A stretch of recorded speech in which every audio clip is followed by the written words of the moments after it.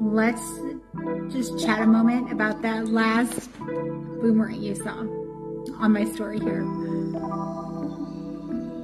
You, your health is the most important thing you have going on right now. And if you think I'm wrong, please, please shoot me a message, prove me wrong. But your health is the most important thing. You cannot take care of your family. You cannot get to your job. You cannot make the money. You can't do anything without your health. Am I right?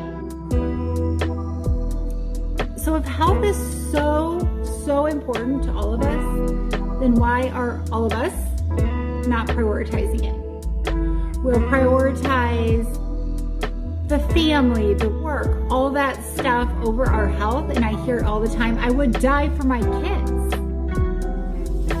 Why not live for your kids? Goodness sakes. Why not take care of yourself so you can be the best you can be to be there with your kids? So you're not sick and feeling down. You know it. We're going to pay for it one way or the other. We're going to pay for your health now with taking care of it as an investment. It's an investment. You are going to invest in yourself now or you are going to pay costly medical bills and costly prescriptions later. It's a no-brainer.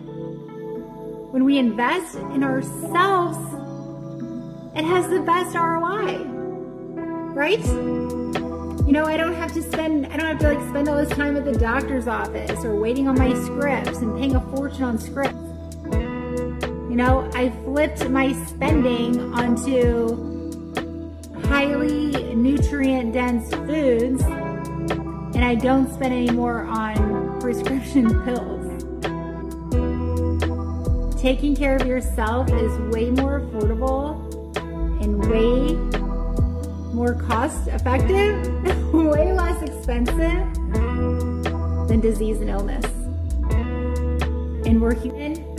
We know what our bodies need a plus B equals C.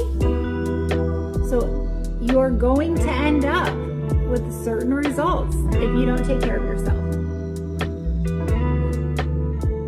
We're smart people.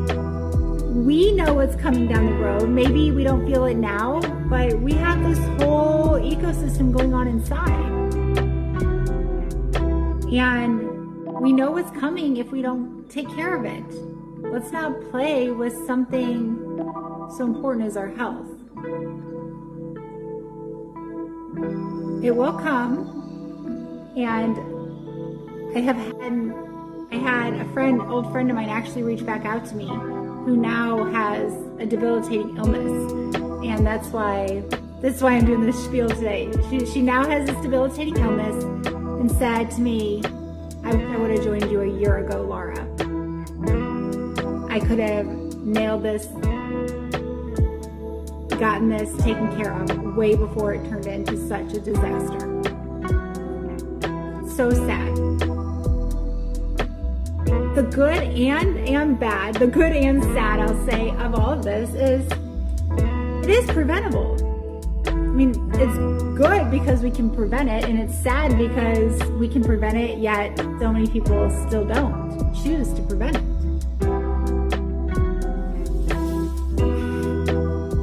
I mean, I hear so many people say, well, I have a family line of whatever. Okay, yeah, we have family history of disease, whatever. But you're either feeding that disease or killing that disease every day. Just because you have a family history of something, it does not have to be your fate. So please work with me. Let me help you heal. Let me help you feel better. Let's get to the root of the issues. We only got one shot. One shot at this life. And I want you to feel good.